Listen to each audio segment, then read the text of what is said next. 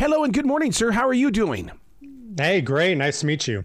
First, first of all, thank you so much for your dedication to our nation because we need leadership like you to extend beyond what your personal training and experiences. Because those of us on the real streets of America, we what do we have except for you guys to train us? Well, it's a, it's a pleasure yeah, that's what I really wanted to do with this book to be able to take some of the institutionalized knowledge and to be able to to share it with the rest of the world. I got to tell you, you're, you're speaking my street when you say the art of clear thinking because on my podcast shows on iHeartRadio, I never talk about cleaning. I always talk about clearing. And that word is so important to me. Agreed. I think it's the most important skill to be able to make good decisions. If you boil down our job as fighter pilots, it's to make thousands of decisions each flight, often with incomplete information and lives on the line. So that's one thing that we really spend a lot of time training is to to think clearly. Uh, to me, the, the best compliment you can give somebody is that they are a clear thinker, not necessarily a, a smart thinker. In reality, aren't you a visionary in the way that because you have been trained to look out further than the normal person? Because I'm a third degree black belt, I watch way ahead of what is about to happen, and my mind it really does play games with me in the way of okay, this is how it's going to play out, and then it does. How, how do you deal with that?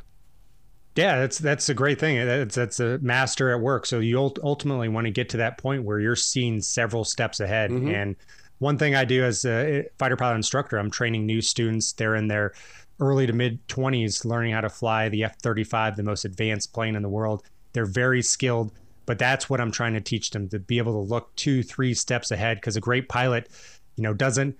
Uh, you know uses uh, their uh, their instinct to be able to avoid situations where they require superior skill. Now, being inside that stealth, that means you're invisible. But but this book makes you visible to the rest of us now. What what is? I mean, that's got to play hell on your heart. Uh, well, two different things. So you want to be invisible on the battlefield. It's like playing football where you're uh, invisible and the uh, the enemy isn't. So it's an unfair advantage, exactly how we want it uh, for this book, yeah, I, I, wanted to to get it out there and to be able to share it with the rest of the world. We've been on the leading edge of decision making theory since the 1970s, but a lot of it is just internal, not because it's classified or anything like that. Just because we're so busy on the mission, trying to execute, trying to help people on the battlefield. And now that I'm a reservist, only fly a couple times a month, I was able to dedicate all this energy to, to writing this book. Speaking of classified, did you have to go through the same rigmarole when it comes to the editing? You had to let the government read this first, and then then they gave you permission. Yeah, absolutely. Yep. So it had to go through a review at the Pentagon. It takes a long time. It's kind of a black box. You send it away, and sometimes it takes years to come back. Wow. And fortunately, it didn't take that long in this case. But yeah, that's one thing every service member has to do: send it to the Pentagon for review. Assess, choose, execute. So many people don't understand it, but when they finally experience it, they begin to activate it. Correct. So I, I break down decision making. Really, really everybody's decision making is being called on on more than ever before. So I, I, one of the arguments in the book is we're transitioning from more of management based leadership to decision making leadership. Management was really born out of the industrial revolution where you're trying to control hundreds if not thousands of people and now there's just a report out of Silicon Valley that they expect the next billion dollar company to be run by less than three people. Yeah. So that's because AI can help augment your decision making. Same thing when I'm flying, I'm thousands of times more capable than I could be just on my own when I put on this suit of technology. So I talk through making good decisions. First, it's called the ACE Helix. First, you have to assess the problem. If you don't have a good understanding of that problem, you're not going to be able to consistently make good decisions. Next is choosing a correct course of action developing courses mm-hmm. of action through creativity, and then finally executing. Sometimes we'll have thousands of people whose eyes are on us uh, as we're executing a mission. So I talk through uh, controlling your emotions and uh, executing under pressure. Mm.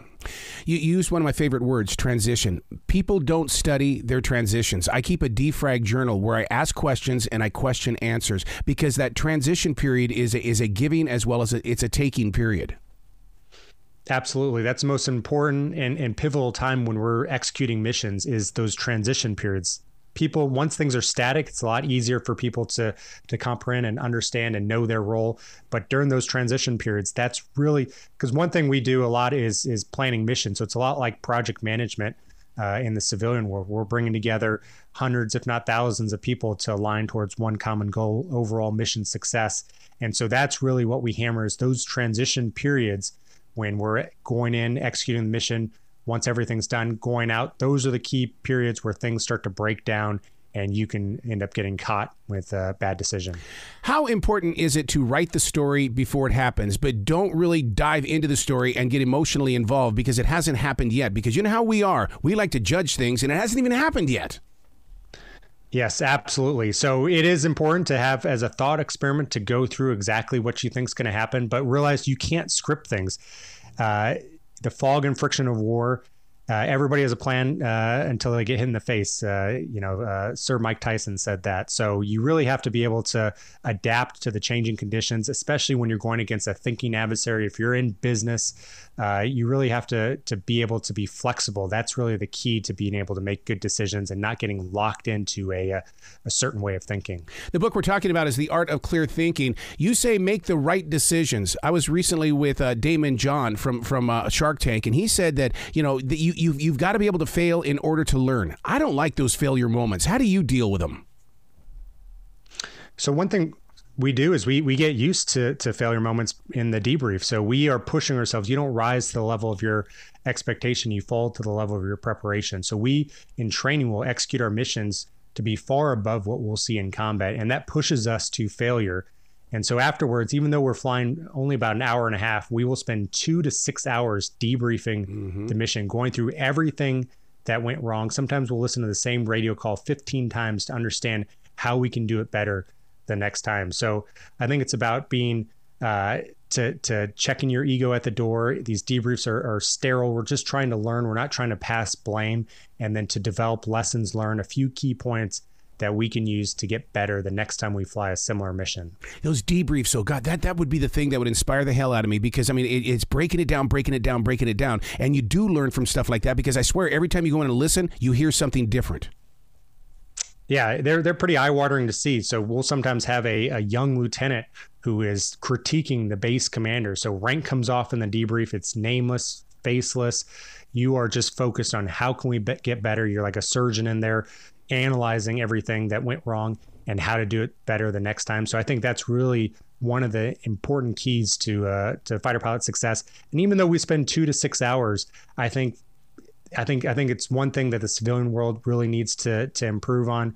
Uh, just spending five minutes after any sort of project or event, just going through what are three things that uh, we did well. What are three things mm-hmm. that we mm-hmm. can do better the next time? Mm-hmm. Yeah, see, I like building those bridges because it, it really, really it helps you with clear thinking. Because you know, I always look at it as being like, look at your closet. If you go in there and clean out that closet, you're just going to throw stuff back into it again. But when you're clear thinking, you put things in their place, or as I call it, creating folders so that I know where I, where things can be found when I need them.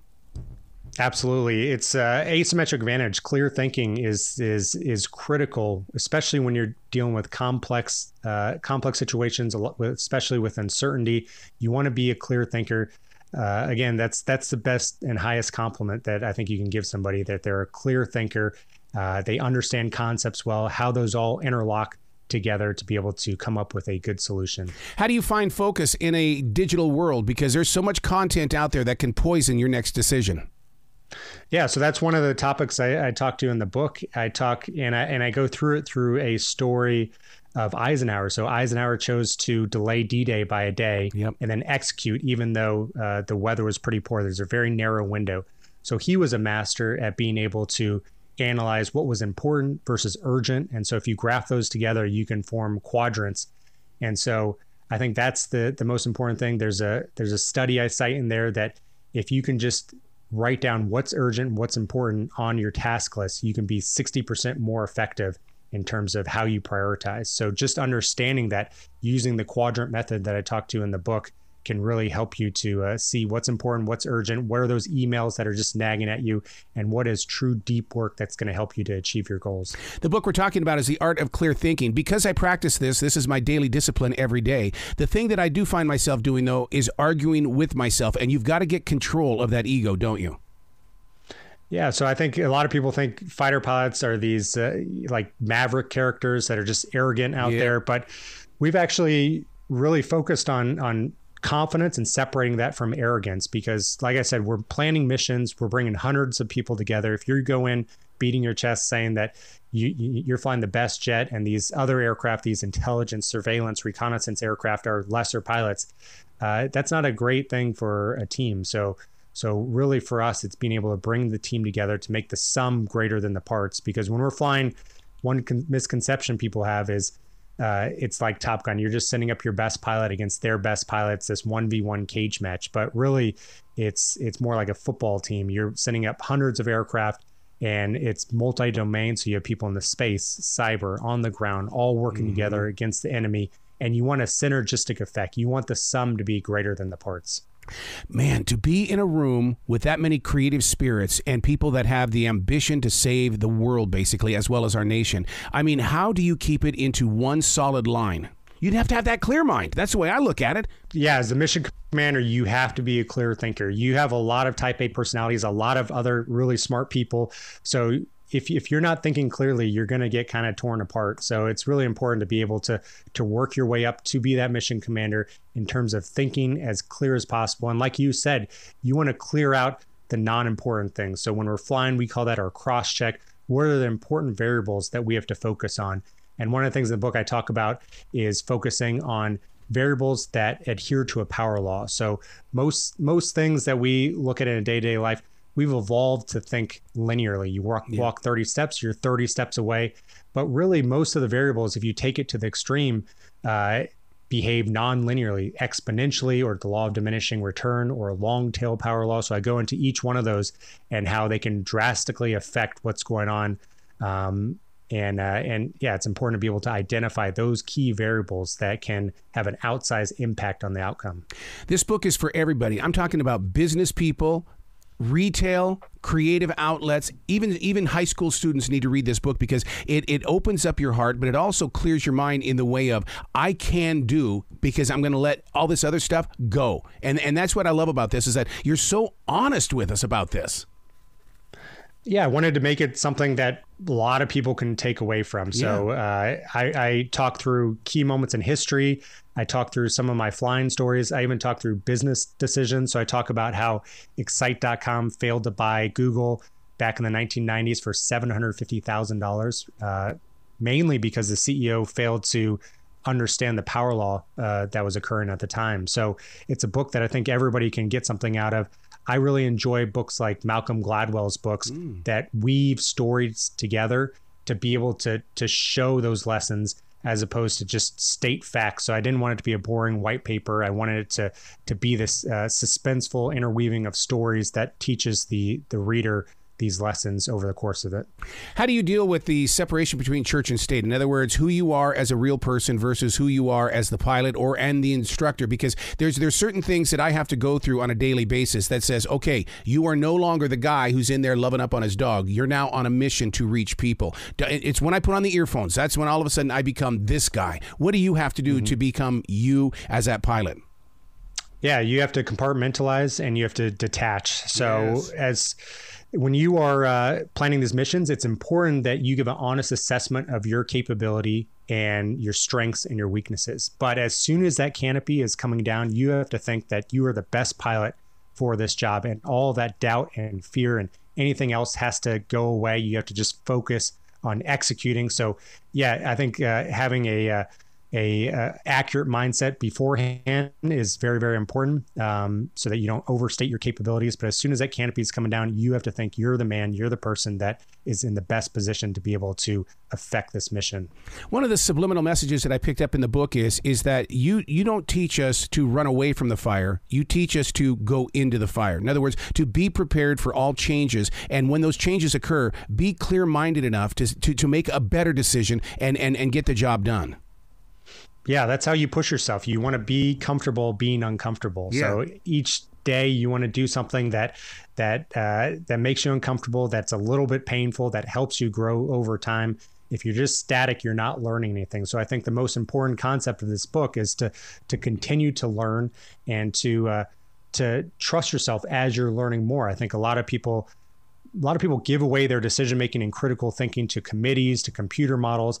And one of the things I really want people to do with this book is to make a decision on their own first, hold themselves accountable, mm. and then compare it to those committees, compare it to those computer models. Because two things will happen. One, if uh, you'll learn something, if that com- committee or computer model comes up with a better plan than you, or two, you can cross check it and realize that something has uh, something has made a mistake, especially with computer models. One variable can be off and it can throw the whole thing out of whack. So, um, so that's really what, what I want people to do is to be able to trust themselves to make a decision and then to compare it to any sort of external uh, aid.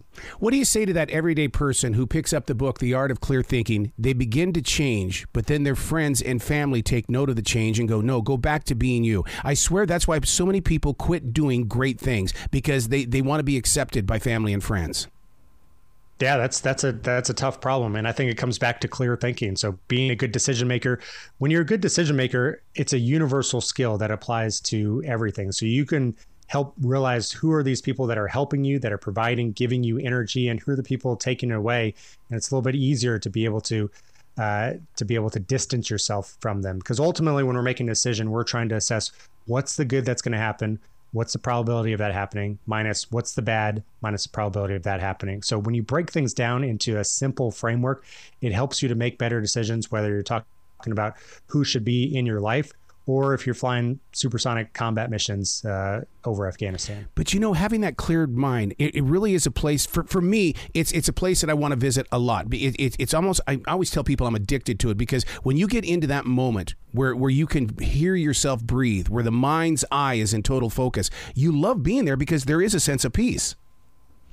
Yes, you you feel uh, you go into the zone. Yeah. And so that's that's what we try to do when we're teaching pilots how to fly to to really get into this zone where they're not worrying about uh, what's going on after the flight, what's not going on before. You're staying in the present moment. You're not uh, letting any mistakes snowball. A lot of students have that issue. They'll make a small mistake and they'll be focusing on that mm-hmm. mistake. Mm-hmm. And we're mm-hmm. flying a mile every three seconds of closure. So it's very easy to let a flight snowball out of control just by making a mistake, kicking yourself, ah, I'm going to fail this flight. I shouldn't have made that. And then to make another mistake and then another mistake. So we teach our students to really stay in the present moment, to, to allow ourselves a debrief afterwards. So anytime you make a mistake, don't worry about it now. We'll worry about it in the debrief. Wow. Um, and that really helps with our human performance aspect. Where can people go to find out more about you, this book, and everything else that you're teaching people? Because, I mean, you, you are a leader.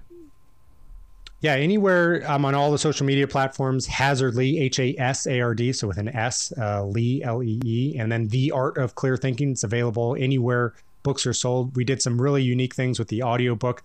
I uh, read parts of it while flying. Good. So I think it's the first time anybody's done that before. So uh, I'd love to hear people's feedback on it. Love to answer their questions. I think this book has the ability to uh, to change the world in a positive way. You need to get in that jet and do podcasts, dude. That that would be awesome to hear that every every time we tune into an episode. I would love to do that. Please come back to this show anytime in the future. The door is always going to be open for you. I'd love to. Yeah. Thanks for having me on. Well, you be brilliant today, okay? All right. You too.